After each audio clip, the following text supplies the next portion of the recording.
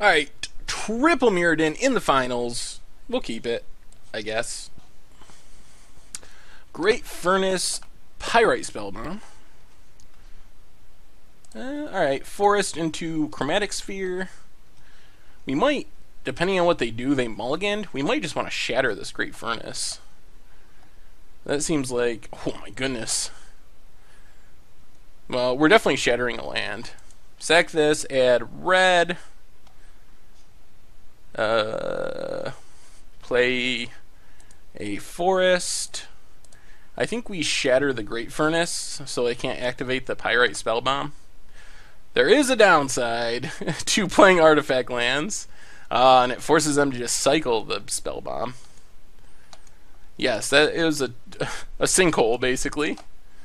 Man, they were playing all artifact lands. Molder Slug, oh my god. what a blowout. Well, let's just play Golden Mirror. Since we can't activate the Goblin Replica anyway, if we had red mana, I would totally slam that and just Stone Rain another land. Uh, Molder Slug will make them sack their lands, so that would be an awesome draw. if we just peel that and play it on turn four, get the flawless victory. I think we're kind of set up well to play against this deck because we are the somewhat the artifact hate deck, and they are apparently the artifact land deck. Uh, all right, no flawless victory. Two one with fear. Uh, doesn't seem all that great in a format full of artifacts. Play Goblin, Goblin Replica, pass the turn, slow roll the red mana so they don't know that we can activate it.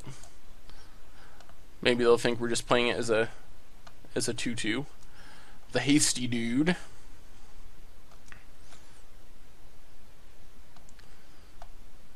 Alright, let's just take our beats for now. Uh, chromatic Sphere. I guess we can keep the slow roll going and use Chromatic Sphere if we want to activate this. I don't know if we do now that they've hit more land drops. Although if they attack, it might be worth it to block and sack. Another fear dude.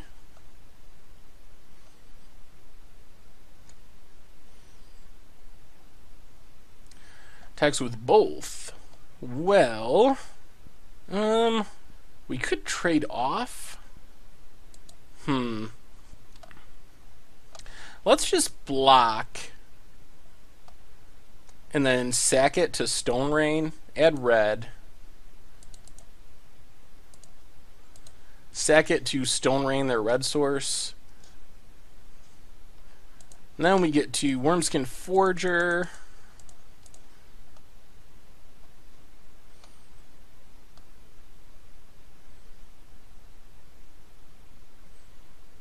We're going to put two counters on our mirror and one on the forger.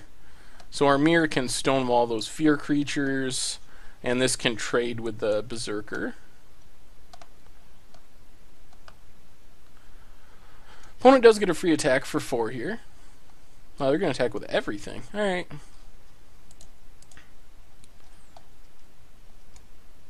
Uh, more lands. Alright, play the mountain, pass the turn.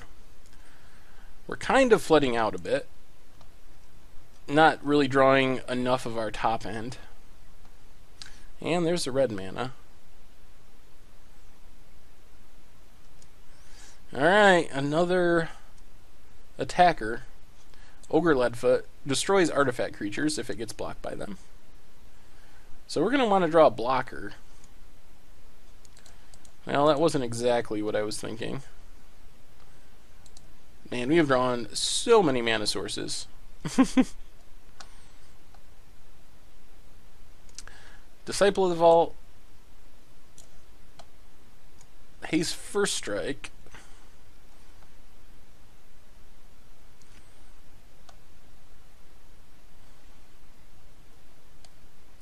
Well, we're just going to block and block, take three and another one from the Disciple down to eight. But we get rid of both fear creatures. And we can always use if we have to. if we're really desperate, Blinding Beam just to slow our opponent down for a turn. There we go. Not the best blocker, but it is a blocker. Should help keep us alive for a while.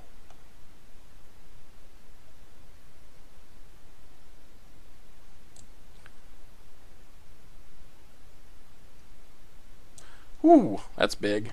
Plus 5, plus 5, and when it deals damage to a creature, exile it.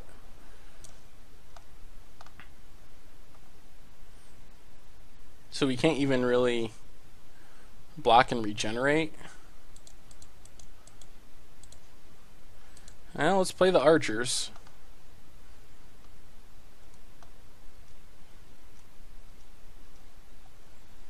We might just have to blinding beam here, unfortunately. If our opponent equips. Give us more time to draw our way out of this with the... I don't even know, another goblin replica or a molder slug?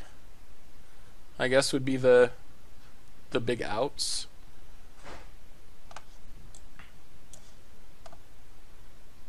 Yep, there's a quip. Alright. Blinding beam, tap. Uh, tap, entwine.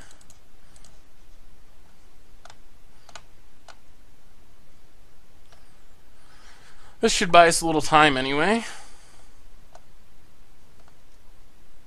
Chromatic Sphere. Yeah, we're gonna lose a life, but we gotta redraw. Ugh, Lifespark Spellbomb. This is a bad time to be getting these redraws. We lost two life cycling those artifacts. And Copper Myr. Alright, well, let's attack with everything.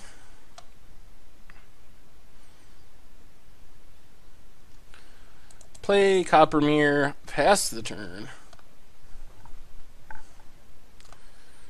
Oh boy. So that's going to untap in one more turn. They have a follow-up too?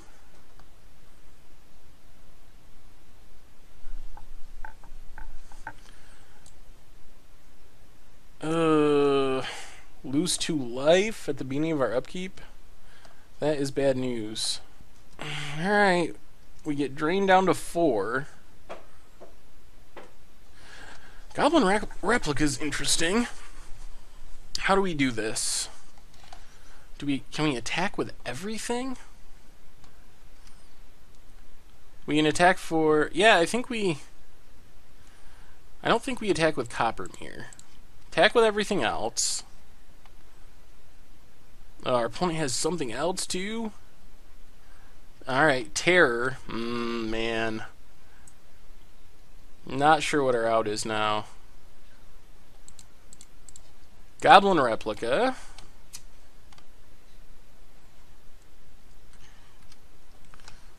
We're probably going to have to destroy our own Golden Mirror here.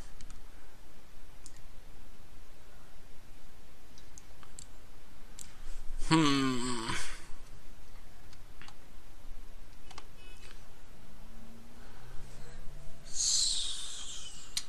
Does our opponent just swing with everything? Well, we know for game two we're going to want to hold our shatters for the sword, because that is a beating. Alright, there's the all-out attack. So we will block and block. We will take two off of this exchange. Ooh, take three? Alright.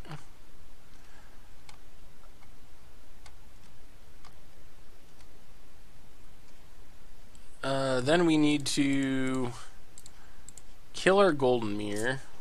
And, alright, draw land. Uh, hopefully we run better in game two. Or just play better. Uh, we know to hold our artifact removal now. Um, Turn to Dust does answer the equipment. I guess we can bring that in over definitely the Lifespark Spellbomb. Um, and do we want two of them? Is that too aggressive?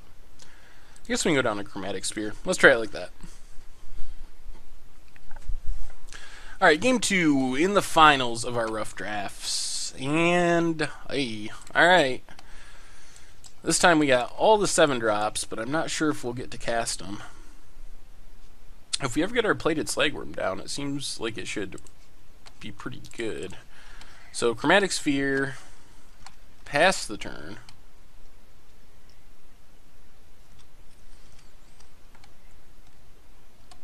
Uh, swamp for our opponent into Disciple of the Vault.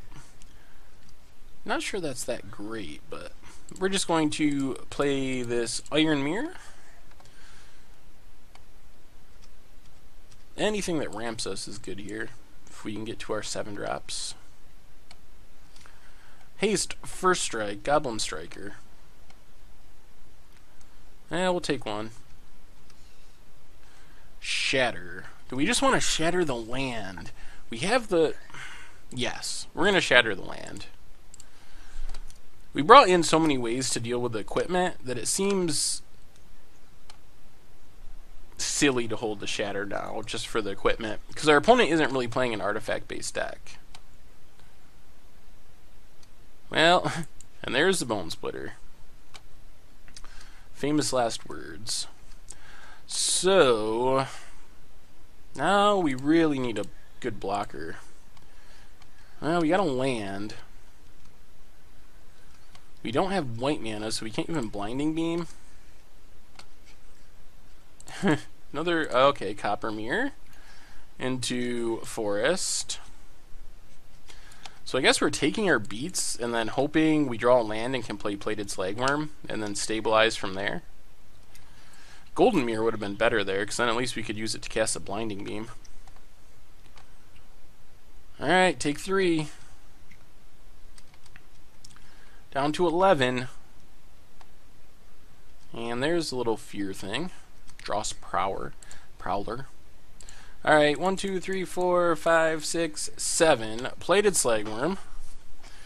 That should at least put an end to this goblin attacking.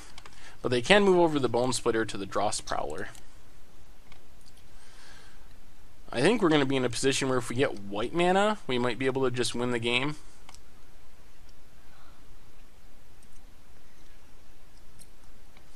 Yep, they're going to attack for four with Dross Prowler. Prowler. Prowler. So down to seven, virtual five, virtual four, thanks to Disciple. So we're really not out of the woods yet. Ooh, Turn to Dust is not a bad draw, though. So we get to Turn to Dust the Bonesplitter.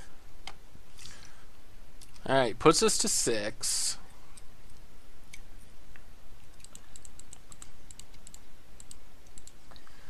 Play Wurmskin Forger. Oh, we can't attack though, can we? We're taking two, three, four, five. Yeah, we can't attack. Let's put a counter on each. So we're taking, we're going to, we're at a virtual one basically. And if our opponent can kill one of our artifacts, well, that does it. The, yeah, that's lethal.